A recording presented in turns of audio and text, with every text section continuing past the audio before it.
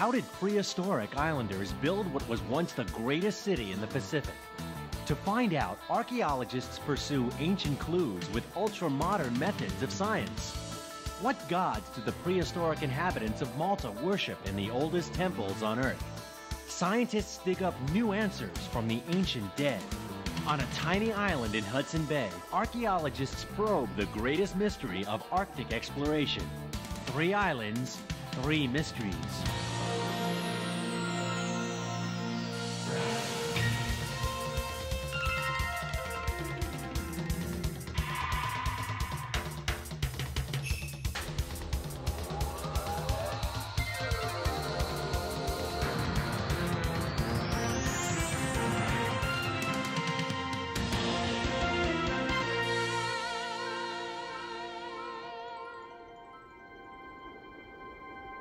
An Eskimo legend tells of an old woman left to die on an iceberg. She pleaded with the gods to let her die on land. The gods answered her prayers with grim irony. They transformed the iceberg into a desolate island of white stone. Today, we know the island as Marble Island. Measuring just 20 square miles, it lies in the Arctic reaches of Canada's Hudson Bay. Here is the site of perhaps the greatest unsolved mystery of Arctic exploration. In 1719, Captain James Knight landed here with 40 men and two ships. They'd sailed from England to find the fabled Northwest Passage. No one ever heard from them again.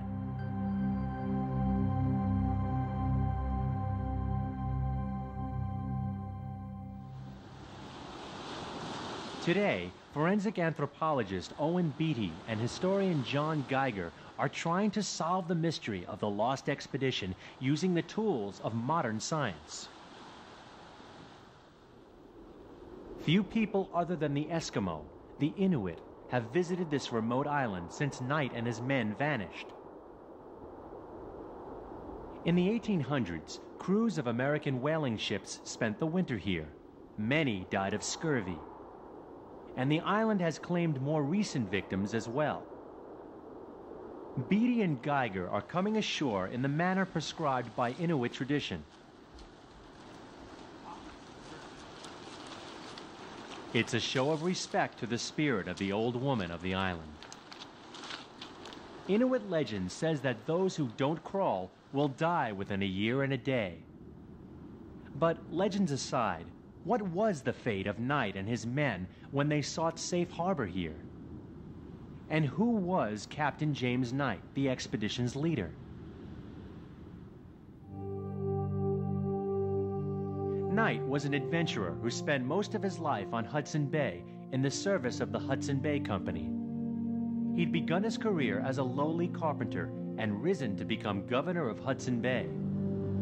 Along the way, he'd fought the French and founded an important frontier fortress. But one goal above all obsessed him, finding the Northwest Passage, the water route through North America to the gold and riches of the Orient.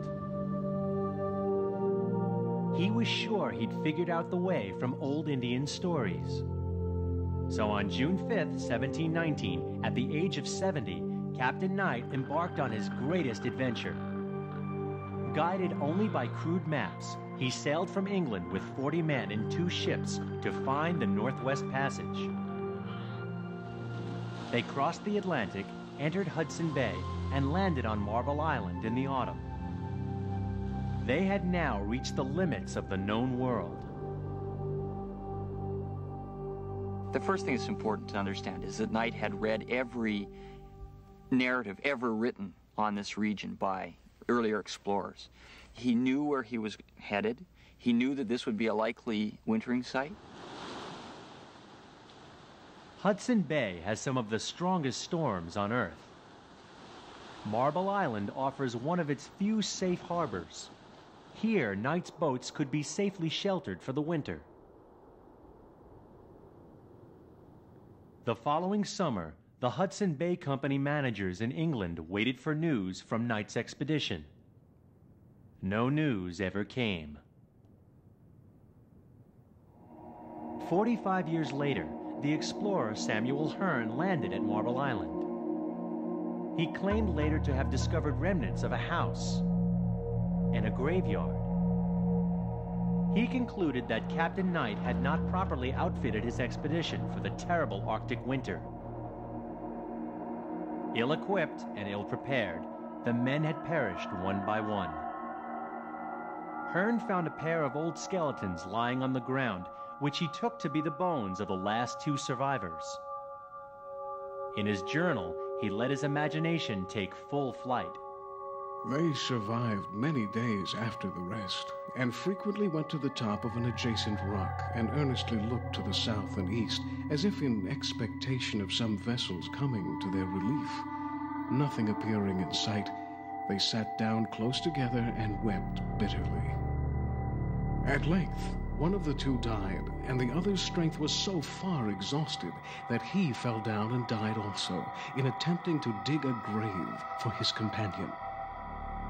Hearne's sentimental account of the tragic expedition became the accepted version of events. But is it true? In 1989, Owen Beattie and John Geiger began their investigation into the fate of the lost expedition. They excavated more than 5,000 artifacts. The more they dug, the more they disagreed with Hearne's conclusion that Knight's incompetence killed him and his men. They focused on these ruins, which Hearne described. They're all that's left of the house that Knight and his men built, overlooking the island's only sheltered harbor.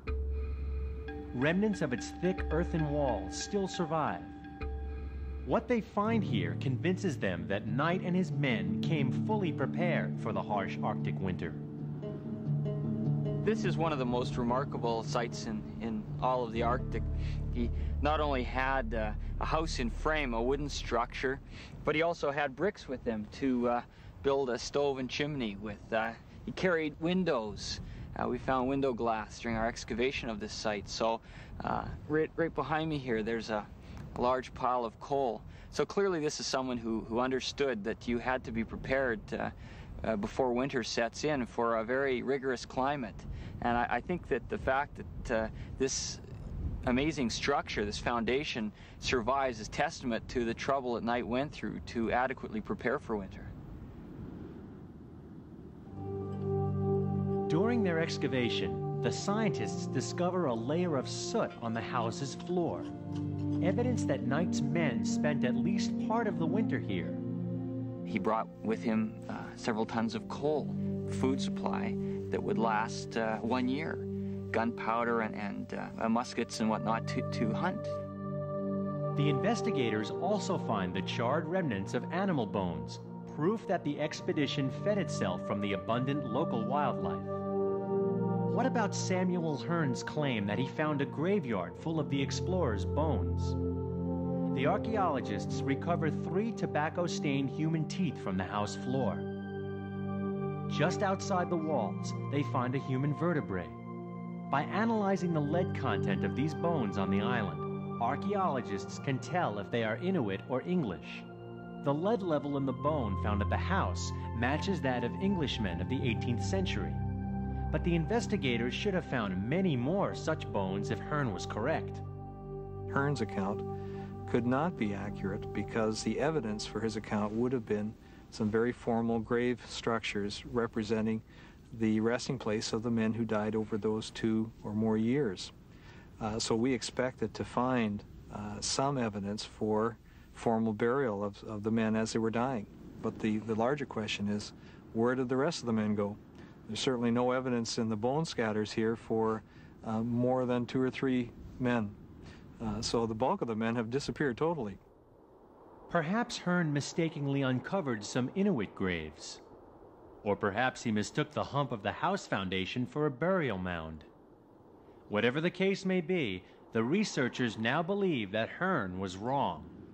Captain Knight and his men could have survived the winter. It's uh, not conceivable to think of them uh, perishing uh, because they were incapable of surviving the situation here. They would have rescued themselves if that was the case, or been rescued uh, in an attempt to, to head south. It was only four days sailing, And they knew that, and it's only uh, 10 kilometers from here to the mainland, so they're not isolated. What would they have been doing? Well, they didn't go south, uh, they didn't go back home, they're not here. Where are they? Could Knight and his men have sailed onward from the island after the winter? At the house, the team uncovers evidence that suggests they did not. In the 1700s, sailors depended for their lives on brass dividers like these to plot distances on their sailing charts. It is unlikely that Knight and his men would have lost such a vital navigational instrument, or that they would have sailed away and left it. But what happened to the actual ships themselves? The answer lies in the harbor close to the house. Earlier explorers reported that Knight's vessels sank here. Since 1971, scientists such as this Canadian government team have tried unsuccessfully to get a close-up look at them. They're submerged in only 15 feet of seawater, but strong tides, frigid temperatures, and a thick bed of silt make the job almost impossible. The slightest movement reduces visibility to near zero.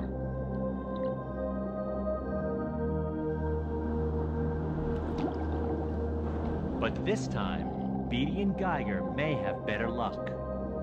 If the weather stays calm and the summer tide remains low, the divers might catch a rare glimpse of the ships.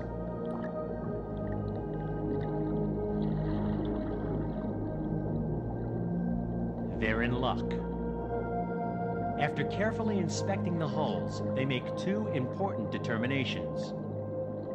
Neither vessel had any serious damage when it sank, and both vessels sank at their original moorings. So Knight and his men did not escape in their ships. Why would they abandon two seaworthy vessels? There is a third possible explanation, the most gruesome of all. A massacre. When Knight and his men arrived, the island was uninhabited. As they built their winter quarters, they probably paid little attention to the piles of rock all around them. But these rocks mark Inuit graves. The Inuit had been burying their dead here for centuries. They call the place Dead Man's Island. So the English explorers were building their house close to an Eskimo cemetery. Other remains confirm that the Inuit made seasonal hunting trips here. Old tent rings, food caches, and kayak stands. In the spring, Inuit bands would have returned to the island, only to find strangers trespassing. Perhaps they attacked and killed the interlopers in a bloody battle. That's what Captain John Scroggs concluded when he landed on the island just two years after Knight's disappearance. And when Scroggs came along this coast here, he came across a, a very large Inuit encampment at this site. And when he landed uh, and uh, interacted with the, the people here, he found all sorts of relics of Knight's missing expedition in their possession. He saw ship spars broken and used as tent poles, sails, you know, acting as tents and there were medicine chests and, copper pots and other relics of the expedition. He also saw one Inuk male with a, a scar across his cheek, uh, which he took to be a green, green wound made by a cutlass.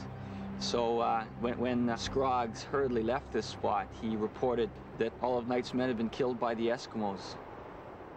The archaeologists dig up some evidence that supports Scroggs' conclusion. They find a spent musket ball at Knight's house, for example. Perhaps one of the crew fired it during a life and death struggle with the Inuit. But there are other possible explanations. Knight's men may have fled from the Inuit in small boats. The Inuit could have scavenged the items that Scroggs saw from the abandoned house. Other crucial evidence to support Scroggs' account is lacking. Tales of a pitched battle with strangers should have echoed down the ages in the oral history of the Inuit. But no such stories are known. Instead, newly recorded Inuit folktales suggest a different possibility. that a French warship may have landed at Marble Island and kidnapped the explorers. This would explain both the lack of graves and the spent musket balls. But it may be impossible to ever finally prove this new solution to the tantalizing mystery of Marble Island. It's, it's a very difficult problem, but if it had been an easy problem, it would have been solved long ago.